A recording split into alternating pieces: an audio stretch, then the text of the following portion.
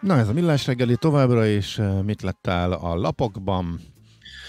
Kérlek szépen örülni fogsz, mert beruházási dömping a MÁV-nál, ezt írja a világgazdaság. Igen.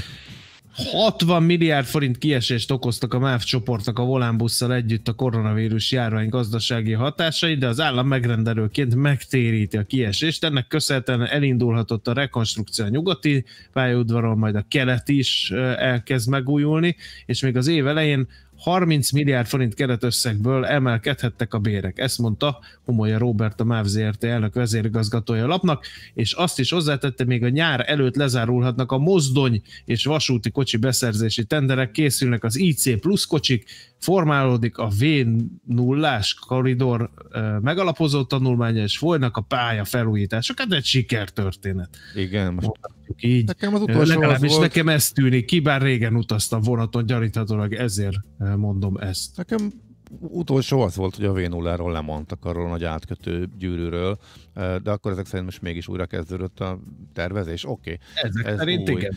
Dióhéjban írja a hallgató, a Challenger balesetében az egyik gyorsító rakéta ó gyűrűje mondta föl a szolgálatot, a mellette kicsapó láng égette át a főtartály oldalát és robbantotta fel a járművet. A szigetelés, igen, és az, az az érdekes, hogy a Kolumbia balesetében is szerepet játszott a szigetelés, leválás. És kaptunk egy csillagos ötös sportológustól. Mi meg az információt nagyon szépen köszönjük neki, hogy röviden ezt összefoglalta. Igen. Na figyelj akkor erre, de még mindig a világgazdaság. Indulnának a charterek, és nem más írt erről, mint Nagy László kollega. Hát persze, hogy indulnának, aki, mindenki indulna, ha lehetne. Igen. A, aki el akarja orozni a papírjaidat. Ezért merészkedett erre a területre. Szóval, elkészültek az előzetes menetrendek, egyelőre teljes a bizonytalanság a hazai charterpiacon. Nagy kérdés, hogy a felfokozott utazási kedv vagy a járvány miatti félelem lesz erősebb az induláskor, és még ott van az amiatti bizonytalanság is, hogy fennmaradnak-e az itthoni és a célországbeli utazási korlátozások. A hazai utazási irodák szerint a charterző partnerek maximálisan rugalmasak, az utóbbiak ugyanakkor arra panaszkodtak, hogy sem a repterek, sem a kormányzat nem segíti a turista járatok üzemeltetőit. Um, hogy itt ez hogy kellene, vagy lehetne, vagy mármint hogy a repterek nem részéről? Tehát, hogy a repterek, amelyek ordasbukóban vannak, most csökkentsék a díjakat? Hülyék lennének őszintén szólva, tehát miután azért az a legáltalánosabb várakozás, hogy nagyjából szinte mindenhova oltási igazolványjal, vagy negatív PCR-tesztel lehet majd utazni nyáron, Ameddig ez meg nem változik, addig, és, és hogyha ez valóban így lesz, és, és át, elérünk egy bizonyos pontra, ahol az emberek elkezdik biztonságosnak érni, akkor viszont ilyen tömeges, úristen, kiszabadulunk, végre lehet, menjünk, e, igény van, sokan erre számítanak. Szóval amíg ez el nem dőlt, hogy ez bekövetkezik-e, vagy nem, mert még mindig van rá esély, addig hülyék lennének árat csökkenteni, hát végre tudnak valamit pótolni. Tudod, ezt, ezt a részét nem értem a, a kívánalomnak. Azt a részét igen, értem persze, hogy mindenki segítsen a utavási irodáknak, de hát nem tudom, talán nem ilyen formában. Én korábban már kellett volna, meg érdemes lett volna. Egyébként elég sokat foglalkozik a magyar sajtó ilyen apró mikro szinten is azzal, hogy hogyan lehetne a vendéglátó ipart megsegíteni, mert most már azt tényleg olyan komolyak a feszültségek, hogy ami van, meg amit most így kaptak, hogy az optozsülésen a rendőr belemondja a kamerába, hogy nyugi, türelem, majd nyitunk valamikor. azt szerintem már bőven kevés nekik, tehát mi a kézzelfogható segítség nincsen, azoknak, akik hónapok óta zár vannak, és mondjuk már a számlák befizetése is több tízezer embernek, ez biztos, hogy nem túlzás, problémát okoz. Egy óriási dilemma lett most, hogy akkor az óvatos, megfontolt, az eddigi rossz szabályok, vagy a nem egészen megfontolt szabályoktól való kis eltéréssel valami óvatos nyitás az lehet vagy pedig inkább az államnak kéne most már tényleg a zsebébe nyúlnia, és adófizetői pénzből e, támogatni őket. Ez egy nagy dilemma, és erről sokat beszélnek, ugye a lapokban is elég sok e, cikk van erről, egy érdekes kérdés. Ja, hogy most meg így elbeszéltük az időt, akkor át is kell ugrasszam a e, következő tervezett zenét, mert akkor átpattanunk azonnal a tőzsdére. Hol zárt? Hol nyit? Mi a sztori? Mit mutat a csárt? Piacok, árfolyamok, forgalom a világ vezető parketjein és Budapesten. Tősdei helyzetkép következik. Rossz volt a nemzetközi hangulat, de erről majd Gábor fog beszélni. A Bux is esett egy százalékot, 43.077 pontig, és hát gyakorlatilag alig-alig találni olyan részvényt, amelyik pozitívba zárt volna, de ilyen azért a Masterplast, amelyik a rossz hangulat ellenére is 1,7%-ot tudott drágulni. És hát még mi van itt, ami érdekes? Lehet, talán a Waberers másfél százalékos plusz, de az kevéske forgalomban ment fölfelé, ennyit, és akkor most jöjjenek a rossz hírek, kérem szépen, mert hogy a MOL 1,4%-os bukóban volt tegnap, 2208 forinton fejezte be, a napját 1,1%-ot esett, a Richter 8190 forintig, a Telekom megúszta fél százalékkal, 398 forinton állt meg az árfolyama, az OTP pedig 0,8 százalékos mínuszt szedett magára, és 13.300 forinton fejezte be a kereskedést.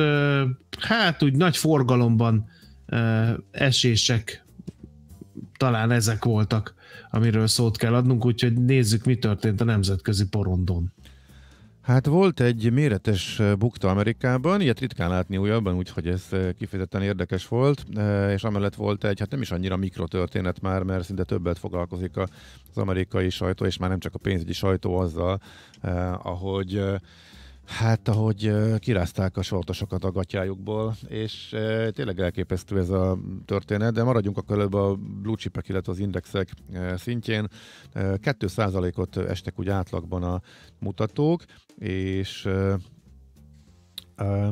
kettő fölött a Nasdaq, ezzel egyébként gyorsan vissza is adta a Dow Jones, illetve az S&P az idei, ami a januári nyerességgel megegyezik, úgyhogy a következő két napba derül ki, hogy a január milyen lesz. Az azért érdekes kérdés, mert hogy a tőzsde történészek szerint, meg hát a számok azt mutatják, hogy a január egész évre iránymutató szokott lenni, illetve sok esetben iránymutató, és eddig még tegnap előtt is úgy nézett ki, hogy egy biztos nyerő van, ez képest az S&P most átment mínusz nullába, a Dow Jones pedig mínusz egy százalékba, hát a Nasdaq azért még szokás szerint jócskán felülteljesítő, és még 3%-os pluszban van az idén, de ez a tegnapi 2,5%-os eh, esés azért megnyírbált mindent.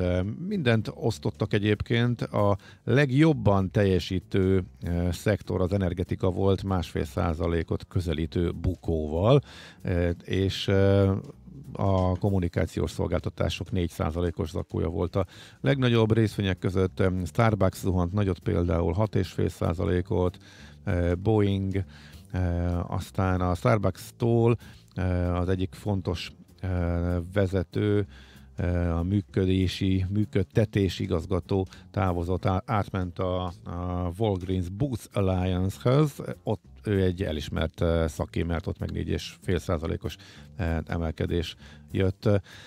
De hát akkor csak nagyon röviden, aztán majd, ha kicsit lesz több időnk, akkor visszatérhetünk rá.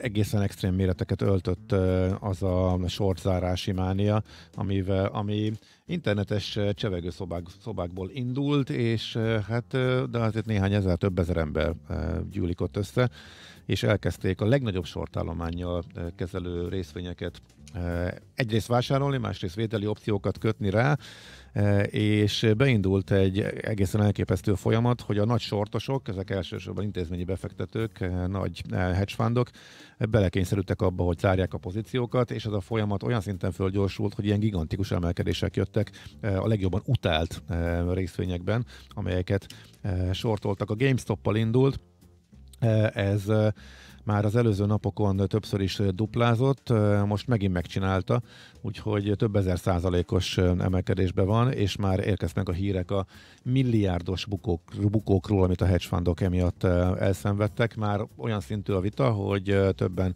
ezeknek a részvényeknek a fölfüggesztését követelik, ami furcsa lenne, mert hogyha fölfüggesztenek tizet, akkor majd másik tízben fog elindulni ugyanaz a játék, ez kiszabadult a szellem a palacból, és hát, egy, hát mondhatjuk, hogy sajátos bosszú ez a kisbefektető oldal részéről, mert azért a hedge fundok hát azért felhasználják az ő nagy erejüket, hogyha kisebb részvényekben építenek pozíciót, meg mondjuk azért ők tudnak eh, elvinni, vagy eldönteni.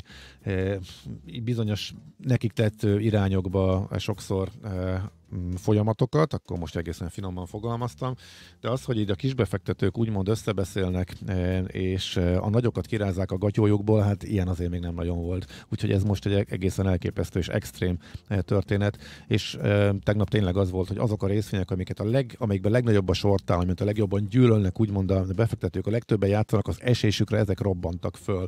A GameStop után a BlackBerry, meg a Nokia is ilyen a régi nagy nevek közül, és még sorolhatnánk sokáig, úgyhogy az összes amerikai, vagy a szaksajtóban folyamatosan veszik számba azokat a papírokat, amelyek még ebben esetleg érintettek lehetnek, miközben már abszolút ilyen politikai szinten, meg a szabályozó szintjén van ott a probléma, hogy na ezzel most vajon mit lehet kezdeni, kell -e egyáltalán valamit kezdeni, és ha igen, akkor vajon mit. Nagyon-nagyon izgalmas, ami ezzel kapcsolatban folyik. A broker cégek is szigorítottak egyébként, már nem lehet ezekből a részvényekből venni tőkeátéttel, tehát mindenki lépett, de hát egyelőre a sötétben tapogatóznak. Úgyhogy ez az amerikai tőzsdei összefoglaló része, illetve most a legizgalmasabb sztori a Wall Street-en. Tőzsdei helyzetkép hangzott el a Millás reggeliben. Felhívjuk a hallgatók figyelmét, hogy nagyon óvatosan közlekedjenek. Már egy másik baleset is történt, ez ott a harmadik kerületben, a Huszti úton, a körforgalomban, úgyhogy nagyon-nagyon óvatosan, mert a korai óra ellenére elég sok a baleset, sajnos. És most következik az Andik csatája, mert tegnap Schmidt Andi erősítette a párost, amelyel most mi Ács Gáborral rivalizálunk, most minket Szóler Andi fog erősíteni a hírblogban. Műsorunkban termék megjelenítést hallhattak.